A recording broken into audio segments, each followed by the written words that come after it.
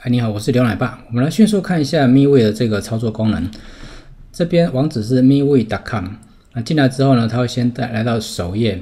它跟 Facebook 很像啊，像首页，我现在是把它切换到简体中文，因为它没有繁体中文哦。在这边里面的设置，右上角这边就有一个语系的切换。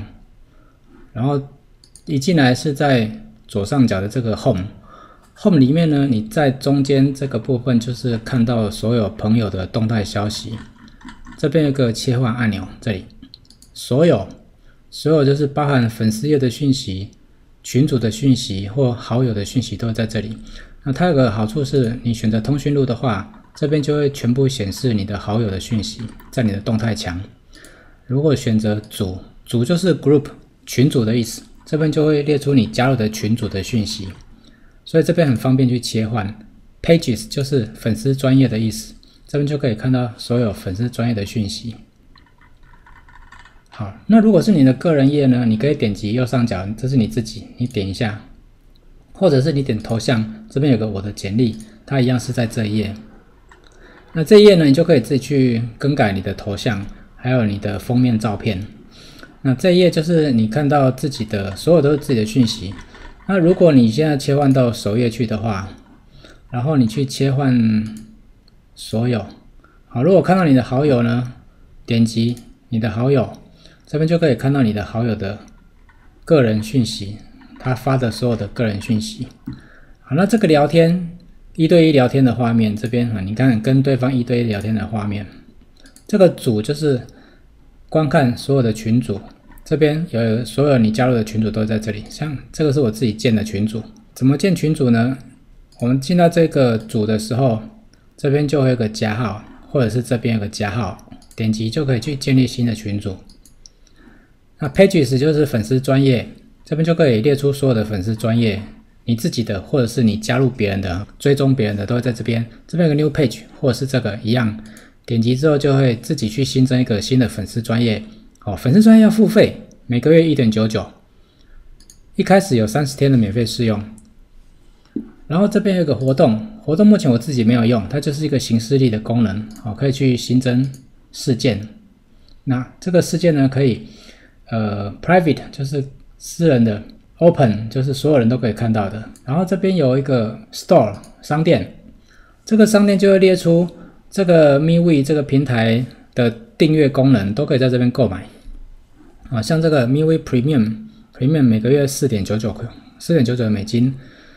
那如果你点击之后，它就可以列出这个四点九九美金包含什么东西。啊，像它有讲说，呃，你可以用那个语音跟这个视讯跟别人通话，然后有一百 G，啊，免费是只有八 G，所以它这个 Premium 有一百 G 的空间。这边有写 Click here 三十天，免费可以试用三十天。啊，底下这里。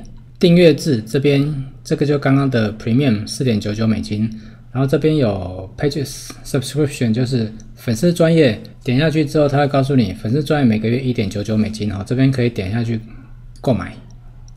好，因为我已经买了，所以这边就有一个管理，管理就是点进去的时候，它就会直接跳到这个管理页，这边就是我已经购买的部分。那取消订阅，下个月它就不会再扣款了。好，那这边有一个。呃，曾经购买的这个历史记录就列在这边。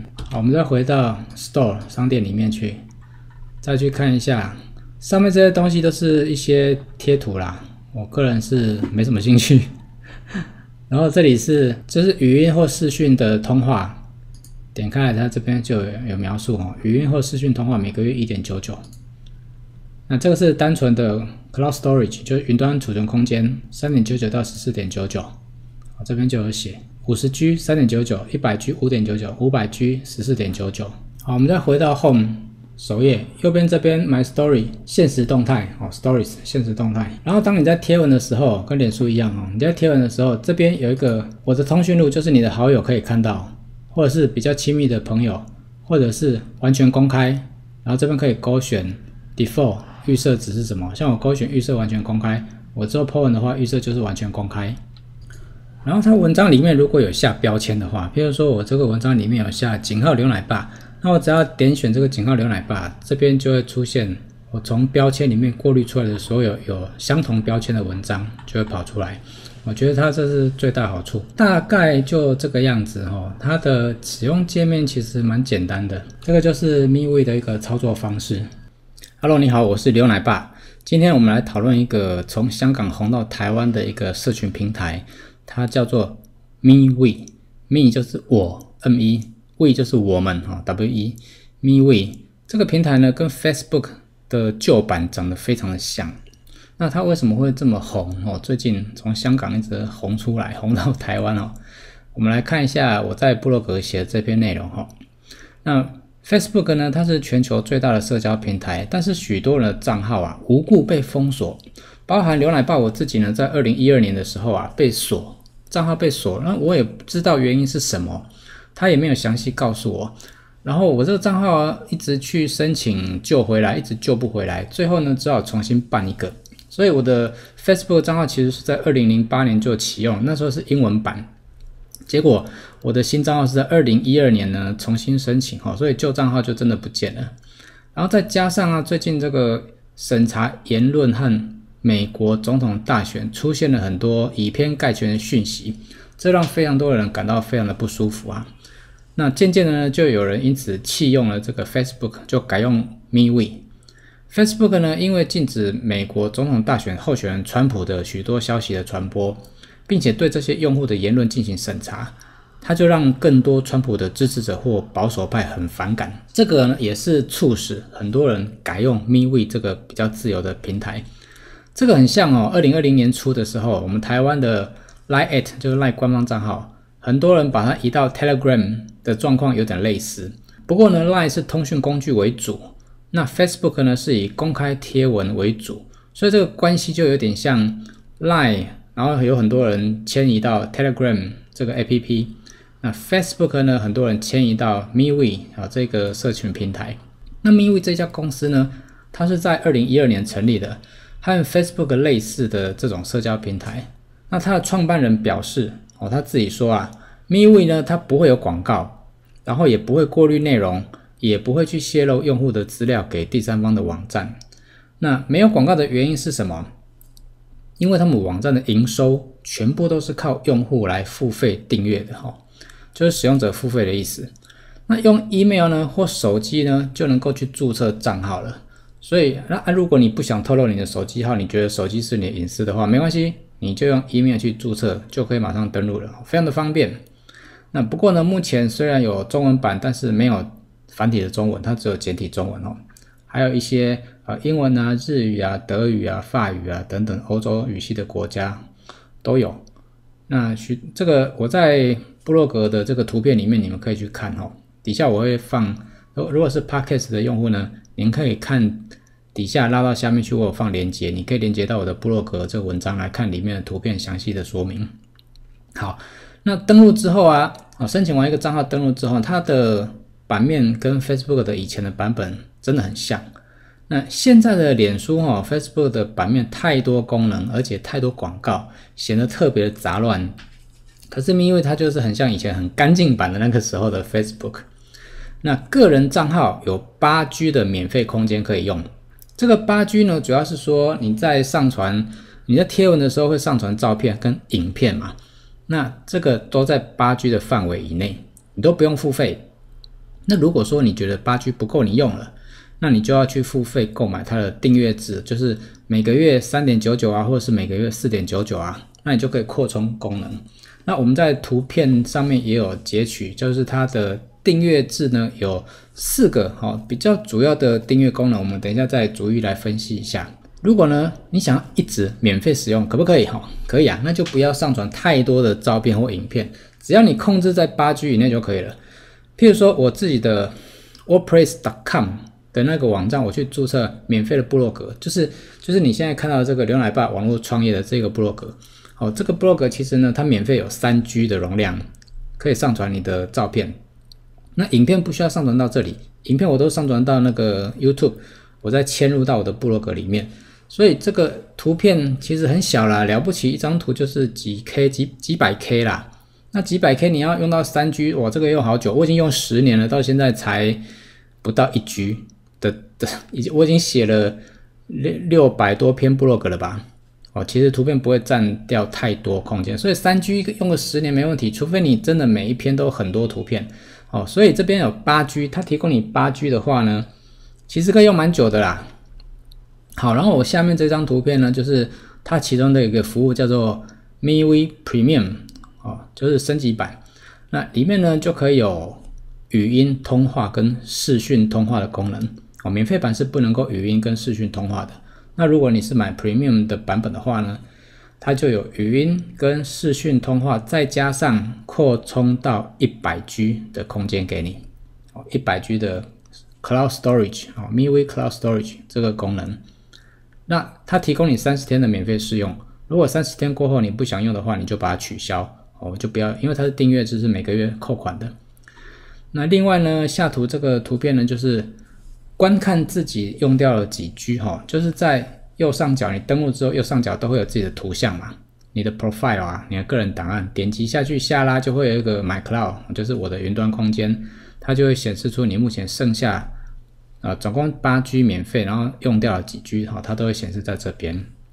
那如果你不要 Premium 的功能呢，单纯想要扩大储存空间的话，那你可以只订阅这个 Cloud Storage，哦，就是云储存的空间。那它的价格呢，就是有每个月三点九九，那就是五十 G；每个月五点九九，那就是一百 G；或是每个月十四点九九，我，那就是五百 G。我，这个空间大小可以去善用。那以这个看起来的话，每个月五点九九一百 G，那刚刚那个 Premium 才四点九九就有一百 G，而且又有语音通讯跟视讯通讯的功能，那当然是 Premium 比较划算了。好，然后底下呢这边还有讲到，呃，如果你只是单纯想要语音通话或是视讯通话的话呢，那你就要直接买这个每个月一点九九的就可以了啊，单纯这个功能。好，然后呢，呃，在下面这张图哈。以和 Facebook 类似，它有分成首页、个人页。啊，首页就是你可以在你的涂鸦墙上面看到你的所有朋友的动态嘛。那当然，现在脸书 大部分看到的不是朋友的动态，而是先看到广告，广告是太多了。那个人页呢？啊，就是右上角人头点下去哦，里面下拉就会有个我的 profile，就是你的个人页面，它里面就是看到你个人的讯息。或者是呢，你去点你的好友，点他人头，那也会进入到他的个人页。这个方法跟脸书 Facebook 其实是一样的哈。好，然后下图这张图呢，是说在首页的部分哦，首页的部分它的展示就是中间有朋友动态，然后右边呢有现实动态哈，所以它也有现实动态，这个也是免费的，现实动态是免费的。然后左边有聊天室啊，就是跟跟你的。好友做一对一的聊天，就是点进去用用手用那个文字聊天啊。如果是免费的话，就是只能用文字聊天，不能够语音或者视讯通话。那除了一般好友个人页之外呢，在和 Facebook 一样，它也可以去新增粉丝专业。好，那它英文就叫 Page 哦，粉丝专业。不过这个就必须付费，好，而且它没有免费的空间。那一旦你开启这个粉丝专业的话呢，一个月要一点九九的美金，好，但是它一样有前三十天的免费试用。那我是已经把它开启了，哈，就是用看看嘛，也相当于两块美金的话，一个月就大概五六十块嘛。啊，这个试用看看，反正不用我们就退订就好了，因为它订阅制，一个一个月收的。好，然后再下来，我有一个结论的比较，哦，大家可以听听看啊，就是 Facebook 跟 MeWe 它的比较。第一个呢，Facebook 它的营收哦，它就是依赖广告收入嘛，所以你没办法一定会看到很多广告。那 MeWe 呢，它主要就是靠使用者付费哦，你要订阅它的各种服务，那你就每个月就多几块多几块的美金这样。那第二，Facebook 因为它的自然触及率现在降得很低，所以你再怎么写文章，看到的人呢就很少。假设你有五千个粉丝。可是看到写一篇文章看到的人呢，搞不好连五百个都不到，我五 可能连一百个，因为触及率大概一趴两趴啦，哈，就是要看你的粉丝跟你的粘着度到底高不高啦。哦，不过这个触及率真的是低非常非常多，所以因为他为了卖广告嘛，没办法，他就是要你买广告曝光，所以他故意让你触及率低啊。那 MeWe 它自然触及率很高，因为它没有广告。哦，只要是你有订阅某个粉丝页，或者是你跟某某人加为好友，那基本上在你们的首页动态墙上都可以看到你的朋友。但是因为目前这个 MeWe 的使用人口并不多啊，所以就算它的触及率再高，也没有人看啊。哦，除非你的粉丝全部都转换到 MeWe 这个平台来，那而且你都已经，他们都已经订阅你了，哦，已经变成你的粉丝都追踪你了，那你在这边发文的效果当然是非常好。哦，它跟这个 Telegram 很像，在年初的时候啊，有很多股票老师，他们就使用 Telegram 去招收这些有兴趣的人加加入他们的粉丝嘛。呃，应该说很多人不知道 Telegram。是因为这些股票老师去号召，然后推广这个 Telegram，因为 Line Line 官方账号太贵了嘛，所以 Telegram 群发不用钱嘛，所以他们就叫他们订阅订阅订阅我的 Telegram 的频道。好，因为粉丝有需求，譬如说这个股票老师他就是很会报名牌啊，所以当然很多人追踪他嘛，那。也就是因为他们的号召，所以越来越多人就使用 Telegram，否则大家都用 Line 啊，谁要用 Telegram？所以，除非你的影响力非常的大，你的粉丝非常想要追踪你的讯息，那 OK，你就可以跟股票老师一样，来，我有我的 MeWe 平台，请追踪我。那你的粉丝呢，就啊，什么是 MeWe？好吧，那我就注册一个账号吧，因为我为了要追踪你。除非你有这个能耐啊，哈，你有这个影响力啊，粉丝非常的想要看你的讯息啦，把你的粉丝全部转移过来，因为你只要 po 完，他们一定会看到嘛，而且又免费嘛，哦，那当然你自己要付一点费用啊，你可以用粉丝页，那这个方法就可以拓展你的影响力，好，看你有没有这个能耐把他们吸引过来。所以如果未来啊使用人口渐渐变多了，哦，这样才好玩嘛，如果没有人就玩不起来啊，你的朋友如果没有在这个平台，大家就玩不起来啊。因为它没有广告刊登的行为，所以未来我们要做行销的话呢，我们要靠的是什么？它不能登广告嘛，所以我们要靠的就是内容创作来吸引用户的注意力。那比拼的是什么？啊，就是要靠内容实力啊，而不是靠广告的曝光率了嘛。那这可以省下很多广告费啊，因为它靠的是你的内容力。不过内容的产出有两种方法，一种就是自己写啊，一种就是花钱请写手帮你写。所以，如果说未来很竞争的结果会怎么样呢？那大公司它可以请很多写手来写内容、来拍影片。那小公司或者是个人创业者呢，你就只能够靠一己之力啦，一个人哈。但是呢，至少啊，可以依靠这个知识和创意来和这些大公司比拼一下，不至于说像脸书、Facebook 用广告。曝光就被打趴了哦，因为大公司一下广告，一个月可能上百万、上千万啊。同样的性质的卖家，哦，卖相同产品的卖家，小创业家一个月顶多花个几千块、几万块曝光，根本就打不赢那些大公司哦。所以在 MeWe 上，如果说将来人真的真的比较多之后，靠内容创意哦，来跟大公司还有这个比拼的机会啦。好，那我们今天就简单分析。啊，如果你对这个 MeWe 也很想要了解的话呢，你可以点击下面的链接来加我好友一下。以后呢，我们在 MeWe 上面就发一些讯息哦，大家来玩玩看。我我也希望大家来号召大家一起来玩，这样把人数壮大了以后，我们才能够真正的了解这个平台到底能够发挥什么样的行销效果。好，我是牛奶爸，我们下集再见，拜拜。